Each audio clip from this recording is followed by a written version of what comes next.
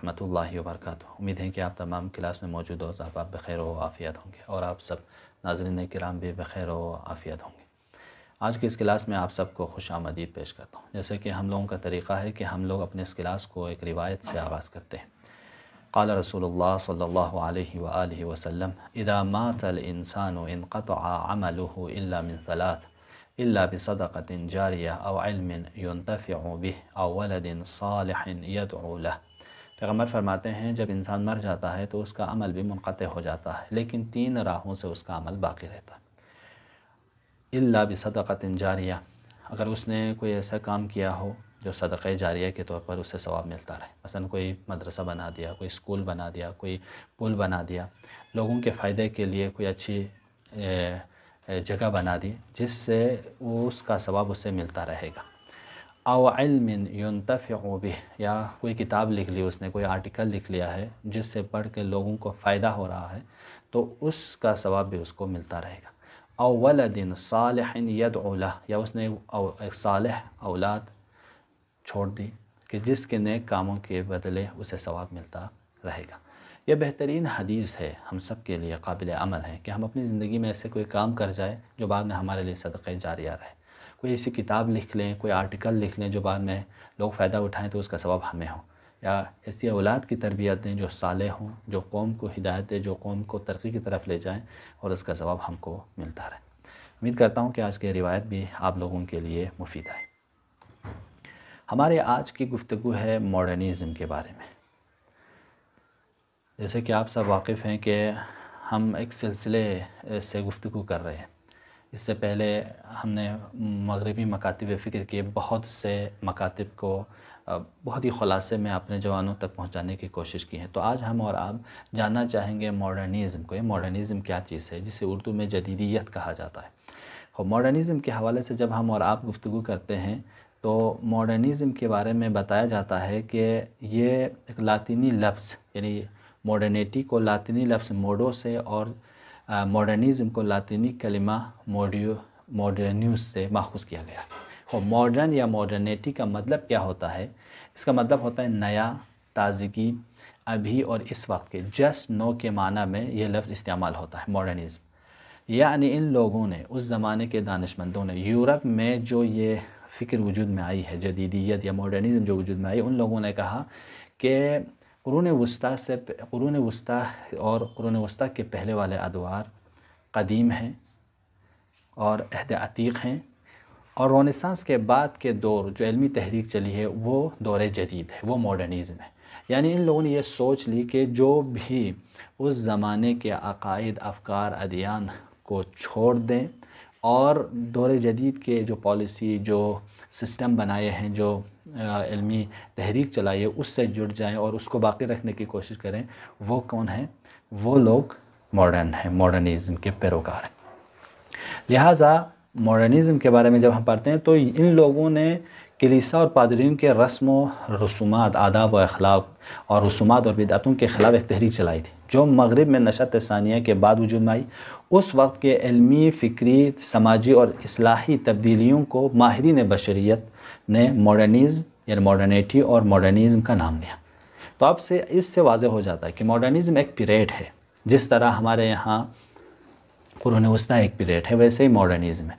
यानी रनीसांस के बाद नशत सानिया के बाद जो तहरीक चली है, उसके बाद के ज़माने को मॉडर्न दौर कहा जाता है, दौर जदीद कहा जाता है, और वो अब तक जारी है। इस दौर को वजूद में लाने में बहुत से मुफक्रीन और दानशमंदों ने किरदार निभाया है, लेकिन उनमें से एक है कांट, जो इस मॉडर्निज़म वजूद में लाने में इनका फ़लसफ़ा बहुत किरदार इनका फ़लसफ़ा बहुत मुफीद है और इसने बहुत बेहतरीन रोल निभाया है। और दूसरा शख्स जो है दिकार्ड है। दिकार्ड ने भी बेहतरीन रोल निभाए हैं इस फ़िक्र को तकवीत देने में, दौर जदीदियत को आगे ले जाने में। यूरोप के फ़लसफ़े में दो कलिमा ऐसे हैं जिसको समझना बहुत ज़रूरी है। इसको की वोल्ड या कलीदी कलिमा कहा जाता है। यूरोप के फ़लसफ़े का कलीदी कलिमा ऑब्जेक्टिव और सब्जेक्टिव है। यानी मॉडर्निज़म की हकीकत को दिकार कहता है, मेरी नज़र में ऑब्जेक्टिव है और कांड कहता है, मेरी नज़र में सब्जेक्टिव है। ऑब्जेक्टिव और सब्जेक्टिव दो कलिमे हैं। शायद हमारे बहुत से दानशमंद जवान इसे समझते हों। लेकिन मैं बहुत ही मुख्तसर में आपकी खिदमत में अर्ज़ करूँगा। देखिए, इन दो फ़लासफ़र ने कहा, कान ने कहा, मेरी नज़र में सब्जेक्टिव है, और दिकार ने कहा, मेरी नज़र में ऑब्जेक्टिव है। सब्जेक्टिव और ऑब्जेक्टिव से एक फ़िक्र, कुछ फ़िक्रें वजूद में आई थी।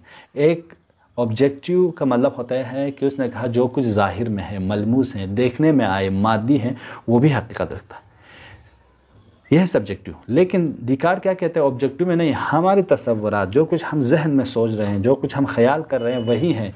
उससे हट कर कोई और चीज़ नहीं है। यानी हम और आप जहनी तस्वुरात के बिना पर उसके होने और ना होने को फ़ैसला करते हैं। लिहाजा ये दो नज़रिया हैं। और रियलिज़म जो है, वजूद, इसके मद्द मुकाबले में आइडियालिज़म वजूद में आई, और रोमानिज़म खूब आइडियालिज़म कहता है कि भाई जो कुछ इंसान के जहन में ये ताकत है, इंसानी जहनी तस्वुरात की बिना पर हम दूसरों को देख रहे हैं। अगर हमारी जहन ख़त्म हो जाए, हम इंसान ही ना रहे तो वो जो बाहर हम और आप कुछ चीज़ों को देख रहे हैं, छू रहे हैं, है, वो भी ख़त्म हो जाएगा। तस्वुर, यानी जो कुछ तस्वुर। रोमन, आपको पता है, ख्याल पड़ता है। हम ख्याल कर रहे हैं, कोई है, वाक़ियत में कोई ऐसा नहीं है। इसके मद्द मुकाबल में रियलिज़म फ़िक्र आई थी। उसने कहा था कि जो कुछ है, वो रियल में भी है। हकीकत में भी हैं, वाक़ियत में भी हैं। ये जो दरख्त देख रहे हैं जो इंसान देख रहे हैं जो सितारे देख रहे हैं, जो सैारे देख रहे हैं, ये जो इंसान देख रहे हैं, जो तुम्हारी जहन में नहीं है, वो जहन के बाहर भी हैं। इस फ़िक्र को कहते हैं रियलिस्ट अब इन दोनों ने मॉडर्निज़म को किस तरफ़ देखा? कान ने कहा रियल में है। जो तगीर तब्दीली हम देख रहे हैं, जो तरक्की, जो टेक्नोलॉजी जो पीछरफ हम देख रहे हैं, वो रियल में भी है। ऐसा नहीं है कि तुम ख्याल कर रहे हो। लेकिन दिकार ने क्या कहा? दिकार ने कहा, वो ऑब्जेक्टिव है। हम जहनी ख्यालात की बिना पर। यानी तमाम मैारात और कवानी की बुनियाद क्या है सिर्फ़ इंसानी जहनी तजुर्बा है इंसान ने तस्वुर किया इंसान ये दर्क किया इसीलिए है अगर ये नहीं हो तो नहीं है खैर, ये दो शायद इसको अभी कामिल वाजह करने की ज़रूरत है। ऑब्जेक्टिव और सब्जेक्टिव ये दो कलिमा है जो यूरोप के फ़लसफ़े में बहुत ज़्यादा करामात है। वहाँ यूज़ किया जाता है। लिहाजा ऑब्जेक्टिविज़म एंड सब्जेक्टिविज़म की फ़िक्र भी वहाँ से वजूद में आई। इस पर आप लोग और रिसर्च कीजिए और दकीक कीजिए, क्योंकि मेरा मौसू ये नहीं है। मैं मॉडर्निज़म और जदीदियत के बारे में बताना चाह रहा हूँ, लेकिन ये मैंने सोचा कि बहुत मुहिम है और मॉडर्निज़म फ़िक्र में इन सब्जेक्टिव और ऑब्जेक्टिव वीज़म के पैरोकारों ने भी बे किरदार निभाया है। आज हम और आप गुफ्तु करेंगे मॉडर्निज़म की जो खसूसियात हैं। देखें, मॉडर्निज़म के बहुत से खसूसियात हैं। उनमें से पहली खसूसियत यह है कि ये इंसान महवर है, ह्यूमनिज़म है। यानी इनके निगाह में ये है कि इंसान है जो मबदा भी है, मकसद भी है और हर अच्छाई और बुराई, खैर और शर सदत और शकावत, अखलाकियात और हकूक़, इकतसाद और सियासत, हुकूमत और रियासत के मैार हैं। वहीं तशख़ीस वहीं तशख़ीस देने वाला है, वहीं रहबर है। यानी ये इंसान है जो इस पूरी कायनात को वजूद में लाया।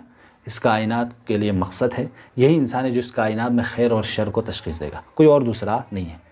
यानी जो सिफत, जो करेक्टर जो मैार हम खुदा के लिए देते थे, मुसलमान, इन लोगों ने इंसान को दे यानी हम कहते हैं कि खुदा मबदा हैं, खुदा मकसद हैं, खुदा रहनुमा हैं, खुदा हादी हैं, खुदा ही सब कुछ है। ये लोग कहते हैं इंसान ही सब कुछ है। खुदा का रिजेक्ट कर दिया खुदा का इनकार कर दिया। जदीदियत का पहला, पहली खसूसियत है। दूसरी खसूसियत लादीनीत सेकुलरिज्म है। हम और आप जब पढ़ते हैं, हमें दीनदारी है। दीन की पैरवी करनी है, वही की पैरवी करनी है। पैगंबर और खुदा। किसी के बातों पे मानना है।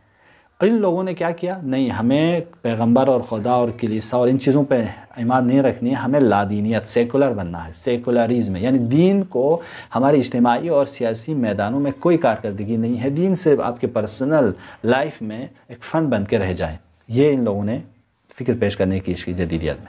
दूसरी खसूसियत मुतलक आज़ादी है, लेबरलिज़म है, लेबरल है।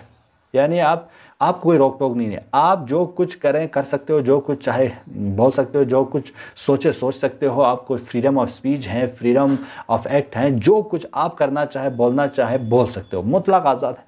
आपको कोई रोक टोक नहीं। हाँ आपकी आज़ादी से दूसरे की आज़ादी को कोई रुकावट ना हो। ये यूरोप की तारीफ़ है फ्रीडम है। ठीक है, इन्होंने मुतलक आज़ादी की बात चली। इसके बाद चौथी चीज़ है कि अकल परस्ती है। रैशनलिज्म यानी इन लोगों ने कहा कि हम इंसानों की अकल में ये तोानाई है ये कुदरत है हम सही और गलत को हक और बातिल को पहचान सकते हैं खैर और शर को पहचान सकती है लिहाजा हमें किसी वही की किसी पैगंबर के किसी इमाम के किसी खुदा के किसी दीन के कोई गुरु के पादरी के कोई आए हमें बताए ज़रूरत नहीं है खुदा कल समझते हैं तो हमें किसी को ज़रूरत नहीं है ये चार उसूल है ना ये इनके तमाम मकातब फ़िक्र में मुश्तरक है और एक चीज़ क्या है मेटेरियलिज्म है इन लोगों ने कहा, मानवीयत कोई चीज़ नहीं है मेटाफिजिक कोई चीज़ नहीं, सब फिजिक है, मादा है, जो कुछ है वो मैटर है। हम मादा ही पे ही तवज्जो देंगे, मादी ही चीज़ों को हम मुकदम करेंगे, ये मॉडर्निज़म की और एक एक चीज़, सियासत में अगर आए तो इन लोगों ने कहा डेमोक्रेसी है, हम इंसान हैं, हम सब कुछ हैं तो हम ही ख़ुद गवर्नमेंट बनाएँगे, हम ही ख़ुद नुमाइंदे इंतखब करेंगे। तो इन लोगों ने क्या कहा? इन लोगों ने कहा गवर्नमेंट इस क्या है? Government by the people for the people democracy is क्या है ऐसी गवर्नमेंट है जो by the people for the people ये इन लोगों का शियार था कि गवर्नमेंट इंसानों ने बनाया है, इंसानों के नुमाइंदे होंगे इंसानों के लिए। ठीक है? तो ये डेमोक्रेसी है। अब सियासत अगर हो हमारी हो तो डेमोक्रेसी होनी चाहिए और जमहूरियत हमारे यहाँ होनी चाहिए।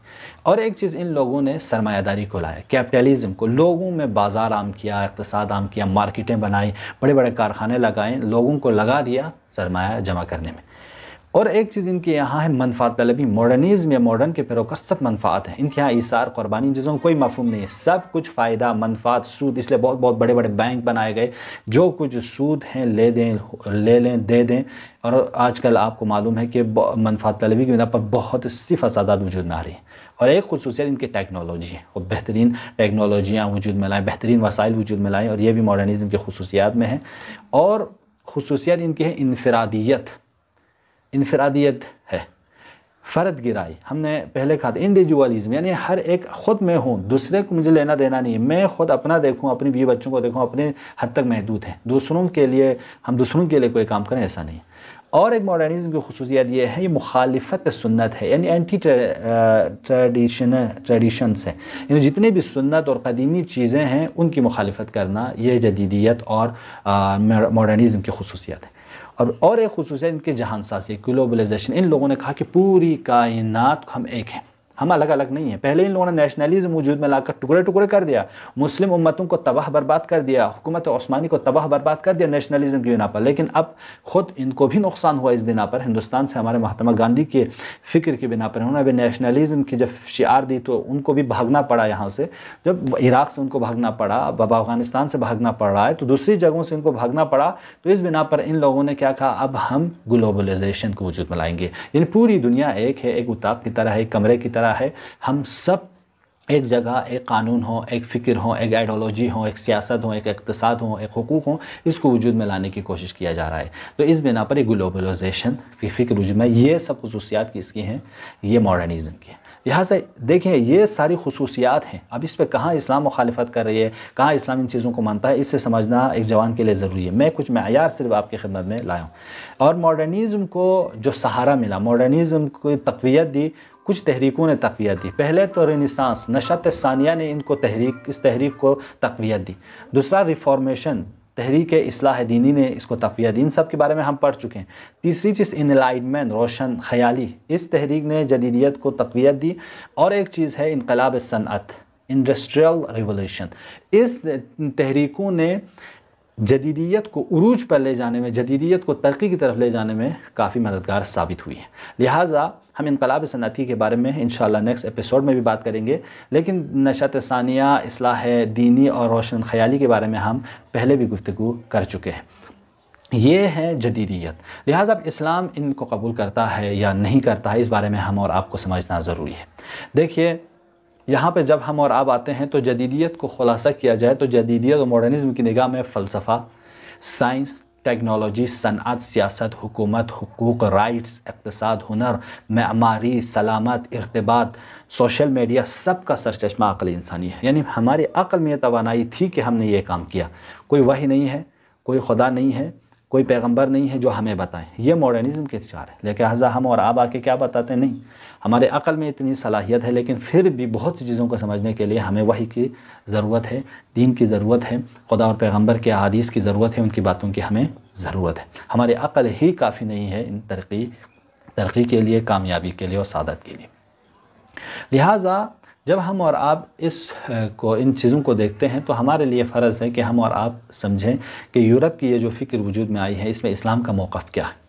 इस्लाम का मौक़ इनमें यह है कि इस्लाम ने, के और दानशमंदों ने इसमें कुछ लोग बिल्कुल रेडिकल बने, सुन्नत बने। मॉडर्निज़म की तमाम चीज़ों को गलत कहा मॉडर्निज़म को के, को बिल्कुल माना नहीं हती फतवा दिया कि मॉडर्निज़म दौर जाहिलियत है मॉडर्निज़म के ख़िलाफ़ सैद कुतुब जैसे मुफक्रीन ने फतवा दिया। लेकिन सैद जमालुद्दीन मोहम्मद अब्दू जैसे लोग थे, लोगों ने कहा, ठीक है, ये हम मुसलमानों की अकमंदगी है, हमें भी आना है और इनके जो ख़राबियाँ हैं, उनको ख़त्म करना है गैर मगरबी तहज़ीब के और अच्छाइयों को अपनाना है।